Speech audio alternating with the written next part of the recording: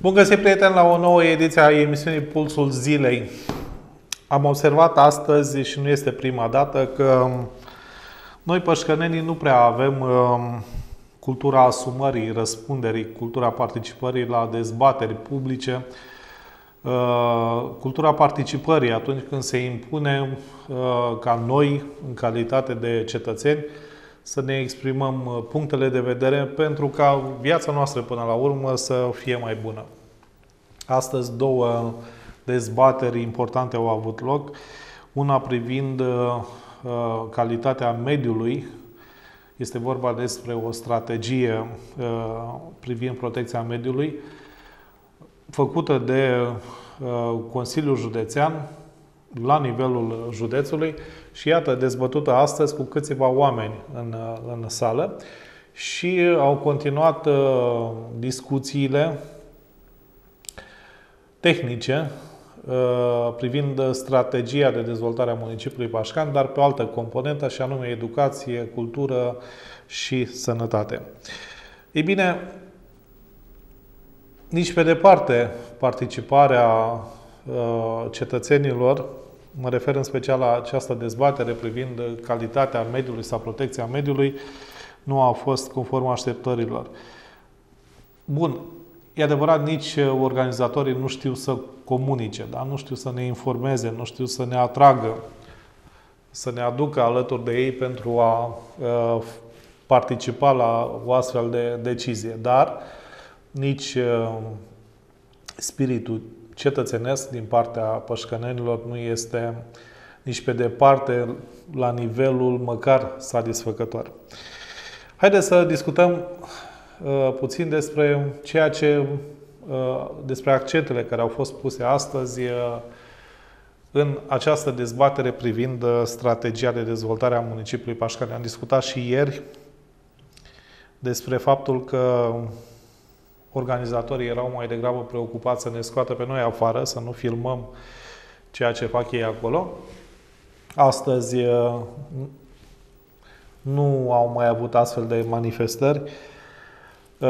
S-a discutat despre cultură, despre educație, despre soarta școlilor, despre soarta grădinițelor, a casei de cultură, a bibliotecii municipale. Parcă participanții, directorii reprezentanții uh, instituțiilor uh, au fost uh, mult mai activi. Au citit cu atenție proiectul de strategie propus de cei care au încasat o căruță de bani pentru a face un document cât de cât interesant și au fost găsite, în mod evident, greșeli de conținut, de formă, taxate taxate, iată, de directorul spitalului uh, uh, de urgență din Pașcan, domnul Pânzaru, a avut și o întrebare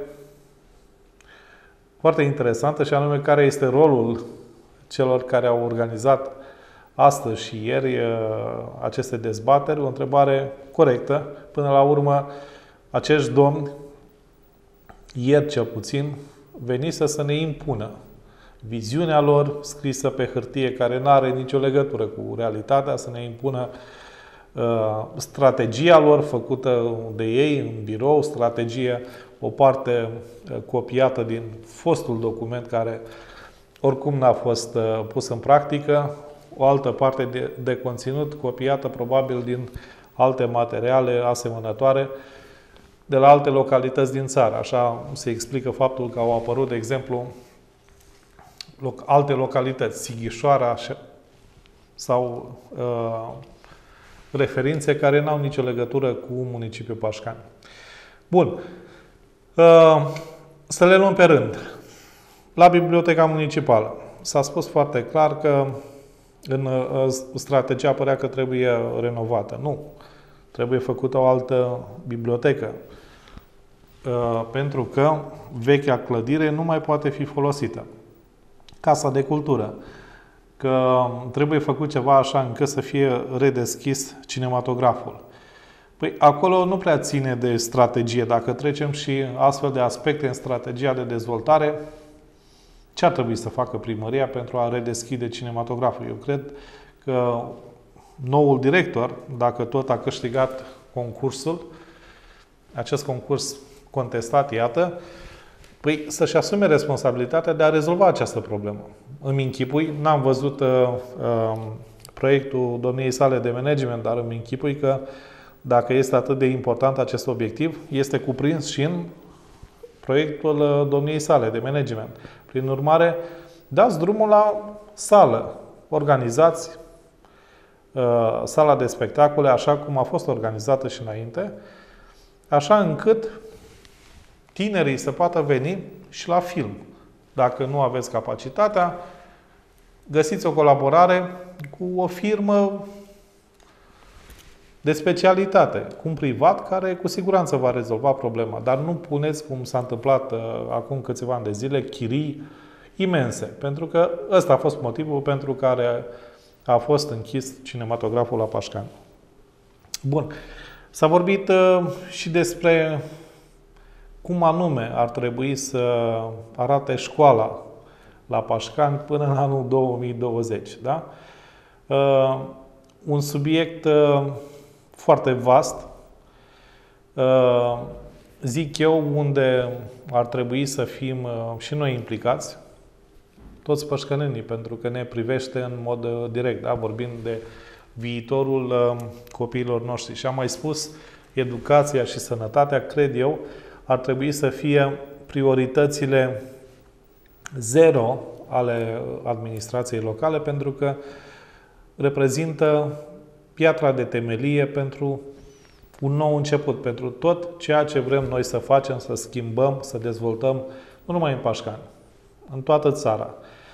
Ori o astfel de strategie sau este foarte uh, amplu spus, uh, o astfel de discuție privind uh, evoluția procesului de educație aici la Pașcan trebuie făcută cu profesioniști, cu specialiști, cu părinți uh, și trebuie privită cu maximă seriozitate. Adică trebuie să vedem ce, trebuie, uh, ce anume trebuie făcut la Pașcan, da? în școli, cum trebuie abordată această problemă, care să fie relația administrației locale cu unitățile de învățământ, dacă mai avem nevoie sau nu de grădinițe sau locuri suplimentare, ce investiții trebuie făcute și așa mai departe.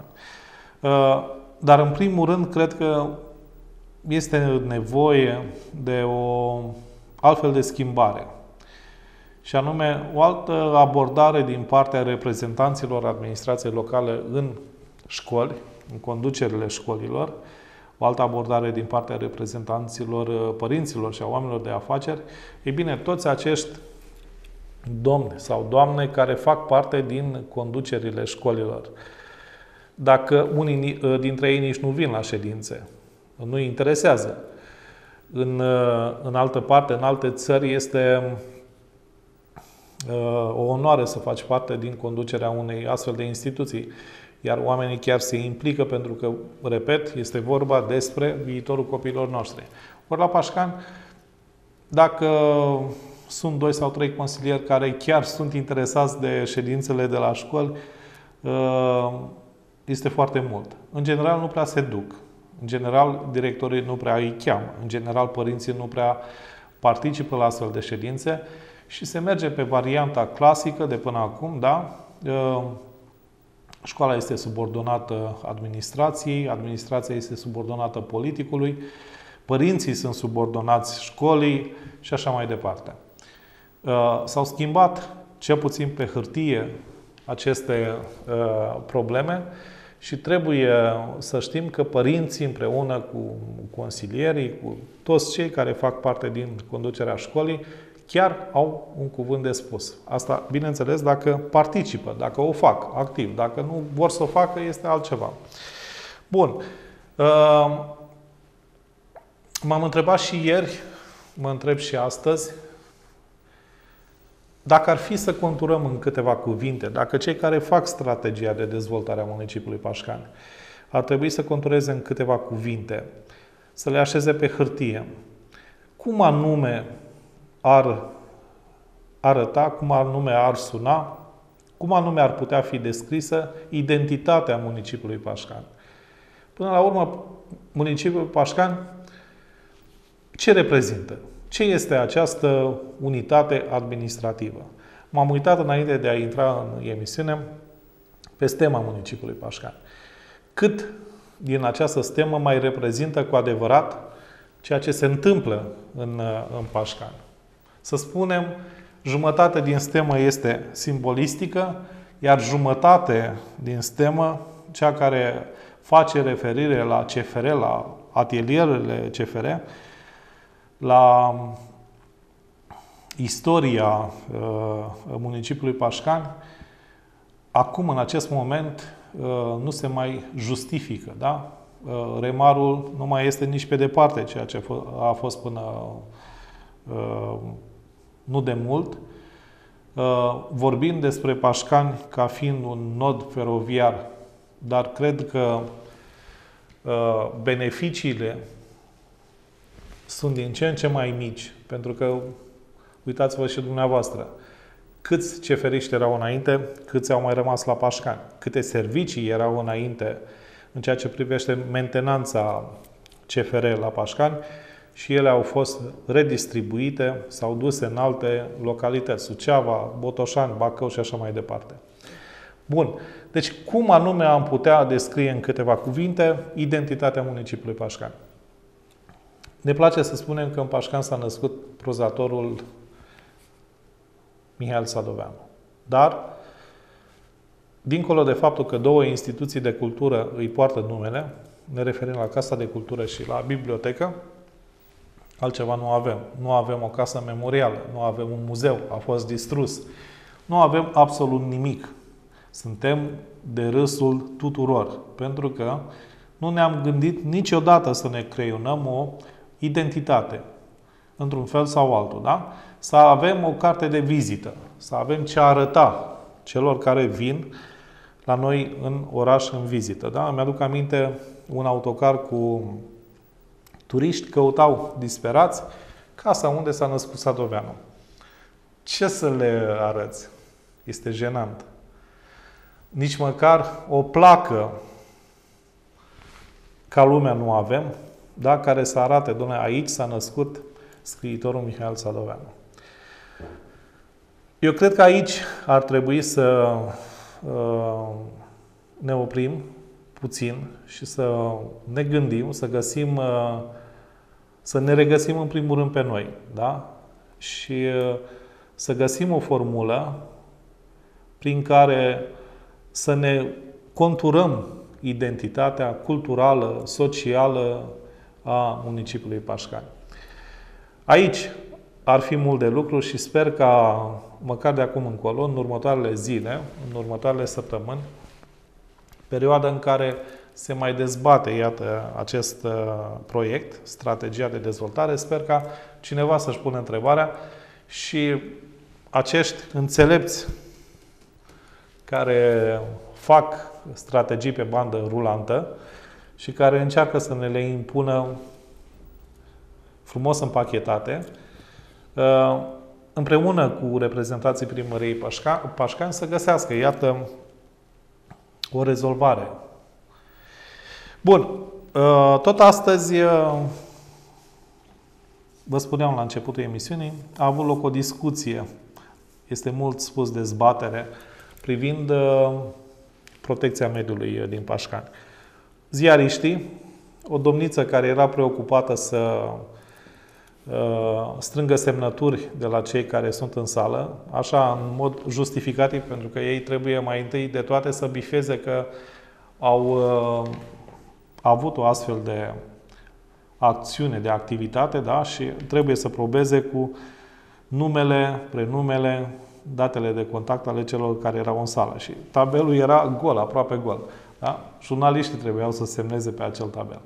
Mai era directorul de la Societatea de Salubritate și reprezentanții uh, uh, de la județ, cei care au organizat, de fapt, acest eveniment. Au fost invitați primarii din județ, primarii din zona Pașcani.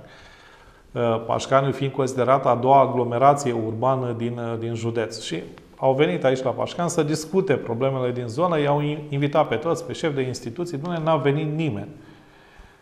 ori n-au primit invitația și ăștia se facă, au, uh, au dorit să aibă un dialog uh, constructiv, ori chiar oamenii nu sunt interesați.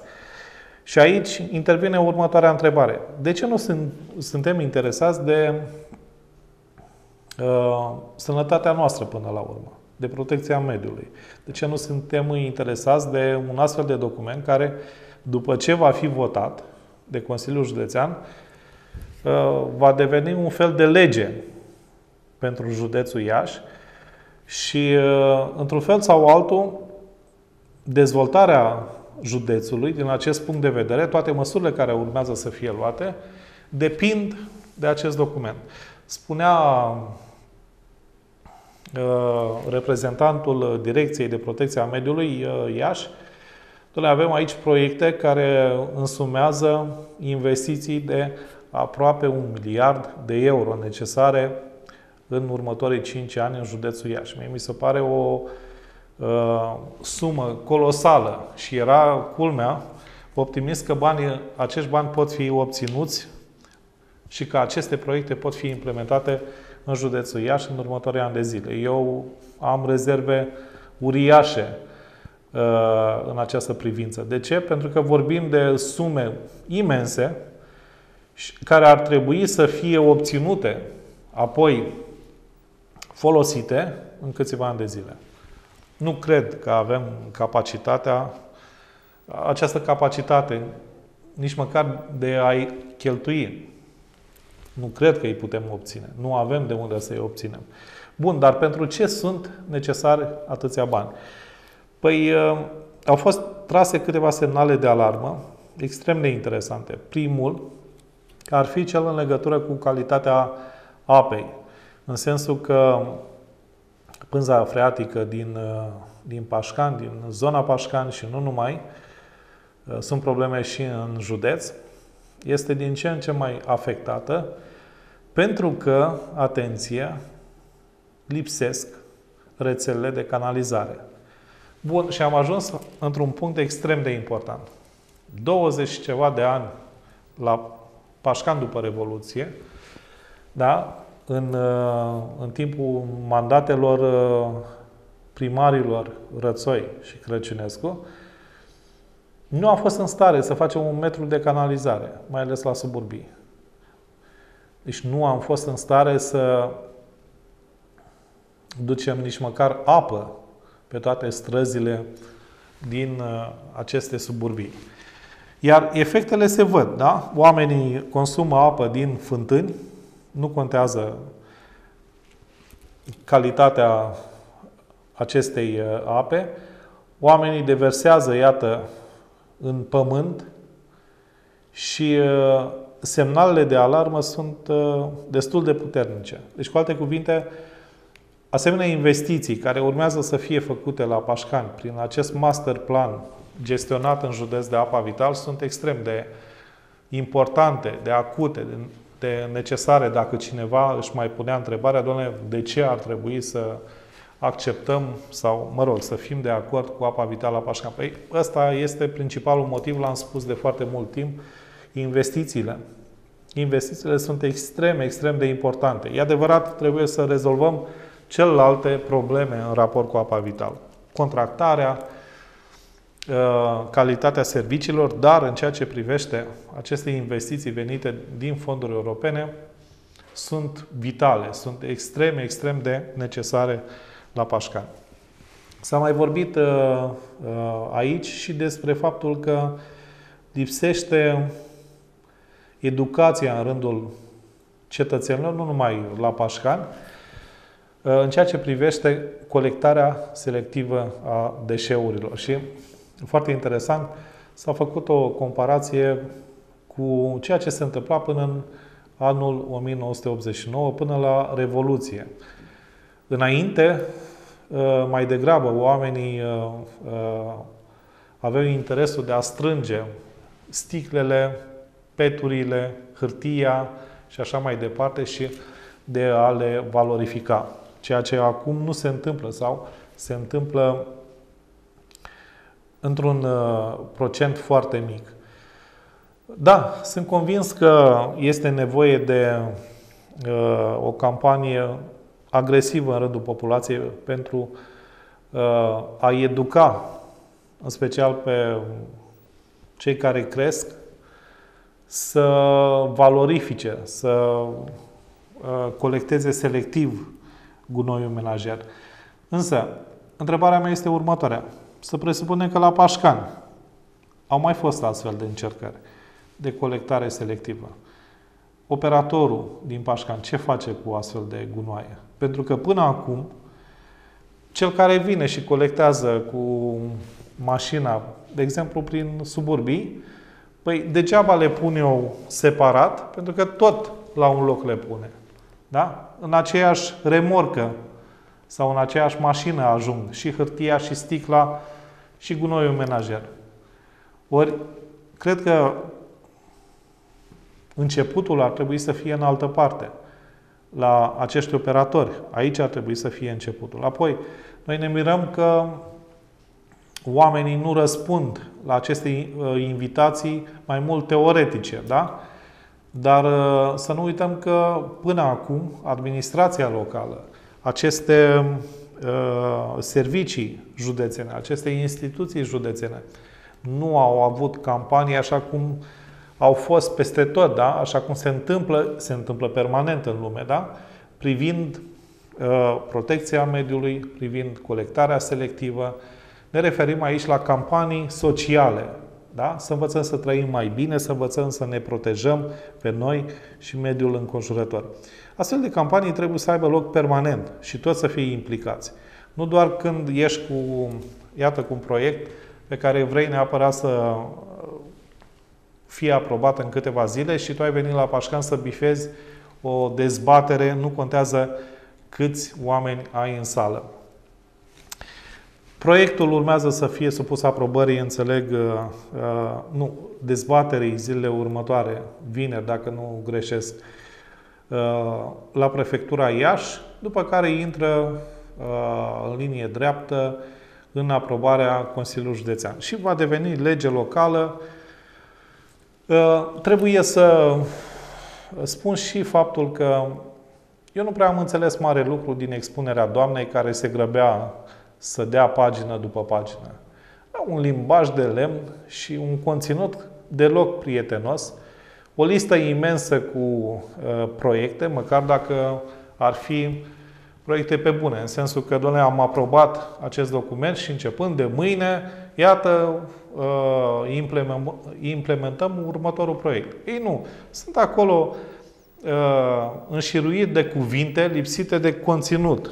Da? Extrem de Uh, stufoasă abordarea și neprietenoasă, așa încât de, până la urmă de ce ar veni oamenii să asiste la astfel de dezbateri? Da? Te uiți o oră, două ore la cineva care îți afișează pe uh, perete 100, 200 de pagini cu cuvinte pe care nu le înțelegi. Nu, asta nu este o dezbatere publică. În niciun fel. Dezbaterea publică presupune cu totul altceva. Mă uit și la strategia de dezvoltare. Da? Jumătate din timpul uh, pierdut în fiecare zi a fost pe prezentarea, aceeași prezentare reluată de fiecare dată cu fiecare grup, prezentarea extrem de aridă, de neprietenoasă, da? a unor cifre culese de-a lungul timpului din statistici în special. Da?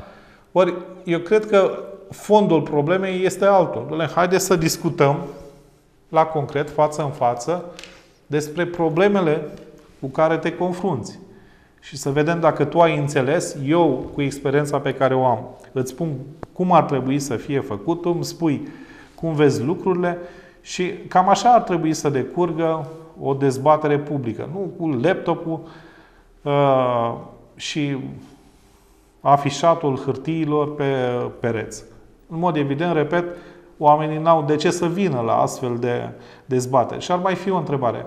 Domnilor, v-ați învățat să veniți, să organizați astfel de dezbateri după cum urmează. Veniți cu mașina, coborâți din mașină, urcați în sala de conferințe, ronțăiți câțiva biscuiți, beți o cafea, după care nu contează câți oameni au fost în sală.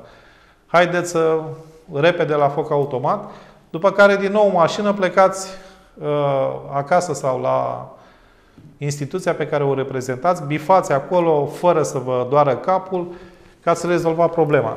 Dar de ce nu vă duceți dumneavoastră în localitățile acasă la oameni, da? Vrem să facem dezbatere publică în suburbia Lunca sau în comuna Lespez.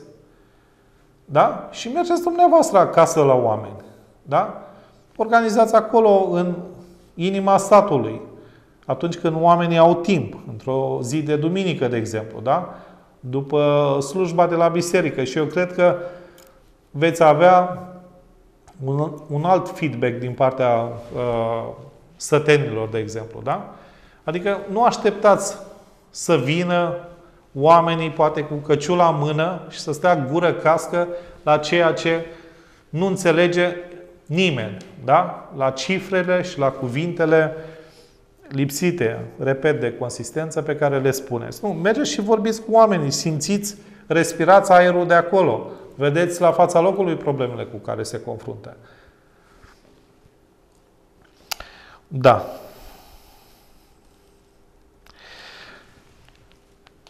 Astăzi uh,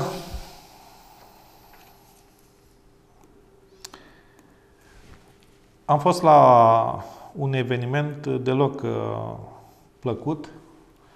Un tânăr a murit uh, pe loc. Se deplasa cu mașina undeva înspre Iași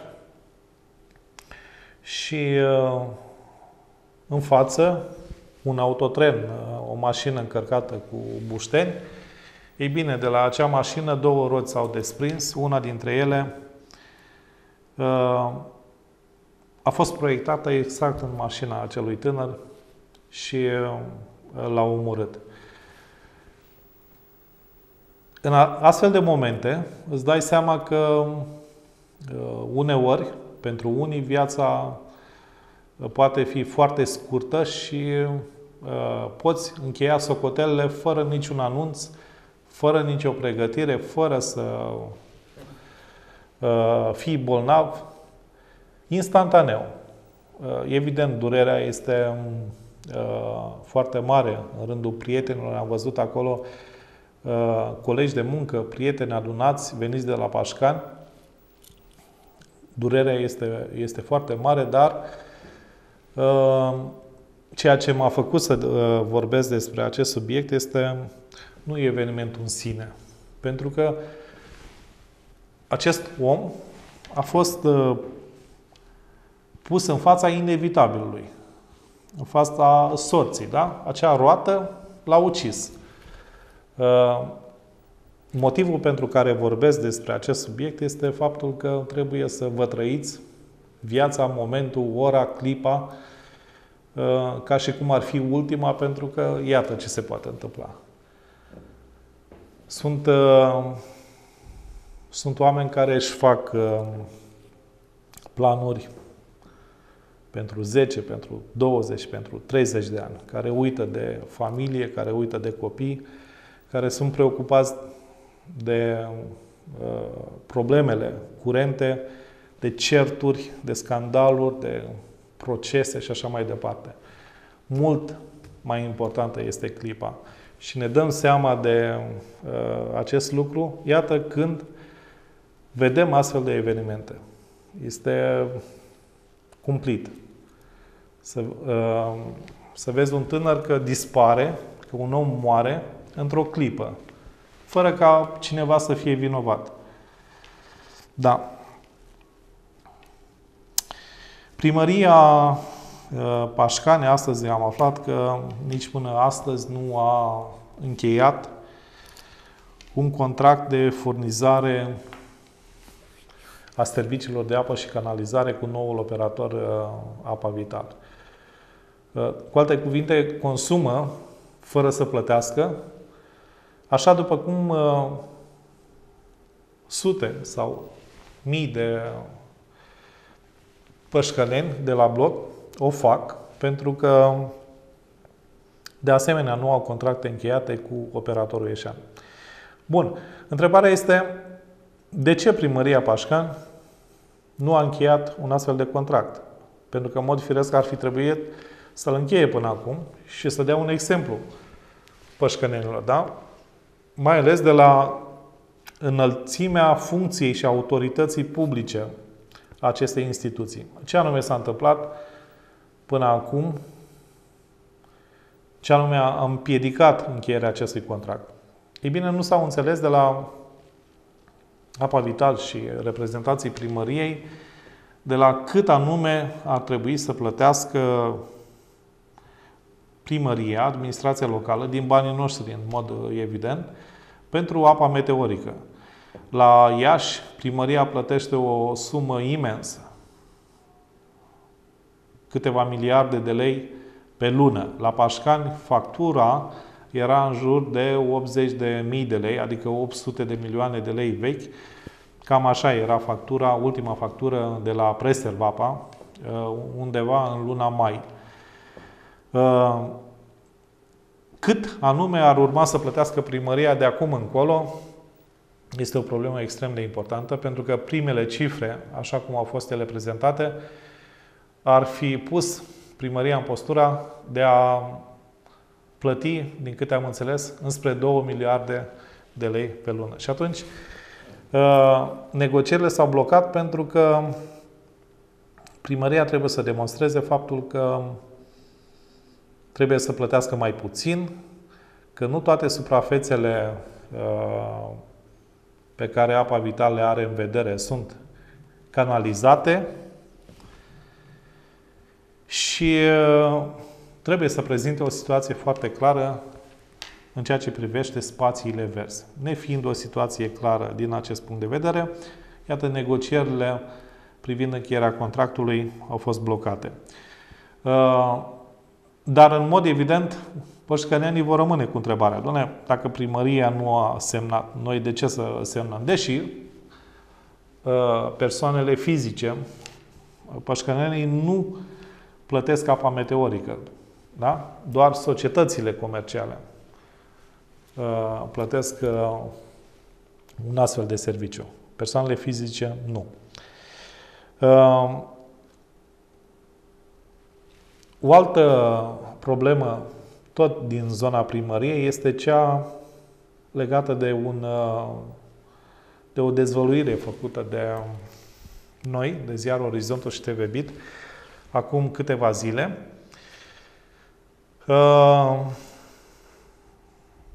Despre lipsa unei sume importante de bani din caseria instituției. Se pare că este vorba despre două, aproape 2 miliarde de lei vechi. Curtea de conturi, inspectorii curții de conturi au venit, au uh, uh, făcut acel control uh, tematic anual și de această dată, pentru că până acum nu obișnuiau să facă, de această dată s-au gândit, hai să verificăm și casa, caseria, să vedem dacă nu cumva avem acolo surprize. Și au găsit surprize numai în ultimii ani, 2013 și 2014, se pare că au găsit o gaură de aproape 2 miliarde de lei. Uh, și înțeleg că verificările vor continua și pentru anii uh, anteriori, uh, tocmai pentru a vedea dacă nu cumva problema respectivă este și mai complicată dacă nu cumva lipsesc și mai mulți bani. Bun, mecanismul, în schimb, prin care acești bani ar fi dispărut din caseria primăriei, mi se pare de-a dreptul uh, șocant și ține mai degrabă de structurile de mafie organizată. Uh, juristul primăriei lua banii din caserie pe baza unui proces verbal semnat de către șefii primăriei lua banii pentru a-i folosi, așa era motivația, în instanțele de judecată, pentru a plăti taxe de timbru sau pentru a plăti cauțiuni uh, judiciare, deși am văzut un comentariu uh, a unui uh, specialist care spunea, domnule, administrațiile locale sunt scutite de la plata acestor cauțiuni. Mă rog. Dar banii erau scoși cu această motivație. Persoana în cauză mergea la finanțe să achite. Era eliberată o chitanță înregistrată în contabilitate, după care era anulată plata respectivă. Și în felul ăsta uh, banii rămâneau la el. Când au fost confruntate documentele, s-a descoperit această gaură imensă. Înțeleg că banii au fost imediat după ce a fost descoperită această lipsă de bani, uh, cam un miliard 600 sau ceva de genul ăsta au fost rapid aduși de acasă și uh, acum se încearcă acoperirea cazului cu justificări de genul nu am uitat să aduc documentele. Și iată, am adus documentele și problema este rezolvată. Deci, cu alte cuvinte, juristul stătea cu chitanțele acasă de câțiva ani de zile, în loc să le ducă la contabilitate sau ceva de genul ăsta. Bun. Toată informația asta noi am aflat-o pe surse. Am încercat să o verificăm în zeci de telefoane și discuții. Nimeni de la primărie nu a vrut să comenteze. Nu comentăm. Uh, acest, uh, această verificare este în curs. După uh, raportul final vom, vom spune și noi ceva. După publicarea articolului, care nu a fost negat de nimeni, o mare supărare în primărie. O mare, mare supărare. Și mă refer aici în rândul unora din conducerea primăriei. Nu mai vor să discute, nu mai răspund la telefoane și așa mai departe. Dar întrebarea mea este de ce? Aveați cumva interesul să acoperiți o asemenea hoție? Iar dacă aveți, aveați uh, o astfel de intenție, din ce motive? Pentru că lipsa de reacție, lipsa unui răspuns, lipsa unor clarificări și supărarea, marea supărare pe care o afișați, nu, este, nu sunt în niciun fel explicabile. În mod firesc ar trebui ca cineva din primărie să clarifice până la acest moment, ceea ce se știe, da? Doamne, care este situația? Da? Să ieșiți și să explicați, pentru că vorbim de banii pășcănenilor, da? Nu vorbim de o societate comercială, nu vorbim de economiile unui privat. Se poate duce oricine din Pașcani, orice om poate să vină la caserie și să spună am nevoie și eu de niște bani. Deschide ușa și încasează de acolo fără să-i mai aducă. Se poate întâmpla lucrul ăsta? În mod evident, nu. Numai anumiți șmecheri o pot face, da? Și trebuie să ne aducem aminte și de alte scandaluri de-a lungul timpului, da? Au fost descoperiți, au fost descoperite lipsuri de bani din caseria finanțelor locale. 200 sau 300 de milioane lei vechi, dacă nu greșesc. Nu s-a rezolvat nici acum cazul respectiv. Au venit atunci criminaliștii cu echipați cu tot ce trebuie, au luat amprente, au fost deschise dosare, cercetări și așa mai departe. Noi tot am întrebat, doamne, ați găsit pe cineva? Au fost deschise tot felul de variante. Că ar fi intrat pe geam, că de fapt s-ar fi ascuns cineva acolo după programul de lucru și ar fi acționat din interior tot felul de variante. Nici până acum nu am aflat un răspuns. Nici nu știm dacă banii au fost aduși sau nu înapoi. Tot dacă nu greșesc, problema, cred, a fost rezolvată tot din hârtii, tot în contabilitate. Da? Bun, au fost probleme serioase în ceea ce privește gestionarea banilor la regia de termoficare. Un mare scandal la momentul respectiv. Banii erau folosiți dacă vă aduceți aminte, pentru cămătărie. La fel au fost scandaluri și la piață. Ani buni în urmă, da? La fel, banii folosiți în interese personale. De ce să fim supărați acum când punem astfel de informații în spațiu public? Repet, dacă ele nu sunt în totalitate adevărate, veniți dumneavoastră și spuneți cum sunt. Dar răspundeți întrebărilor presei atunci când sunteți întrebați. Altcumva, sincer, nu vă înțeleg și nici nu-mi pasă de supărarea dumneavoastră. Și subliniez încă o dată, ori de câte ori vom avea astfel de informații, le vom publica. Chiar dacă cineva se supără, chiar dacă cuiva îi iese sânge pe nas. Puțin îmi pasă. Deci vom publica astfel de informații atunci când vom intra în posesia lor. Și repet, am dat zeci de telefoane. Zeci de telefoane, zeci de întrebări pentru a verifica aceste informații care nu au fost negate.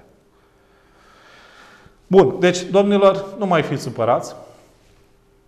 Așa, rezolvați-vă treburile din interior, păziți-vă banii, păziți banii noștri, clarificați situația, vedeți cine este vinovat, sancționați-l să nu se mai întâmple. Asta trebuie să faceți, nu să fiți supărați pe presă. Bun. Cam atât uh, pentru astăzi. Uh, ne reîntâlnim mâine de la aceeași oră. Cine știe cu ce alte surprize. O seară frumoasă în continuare.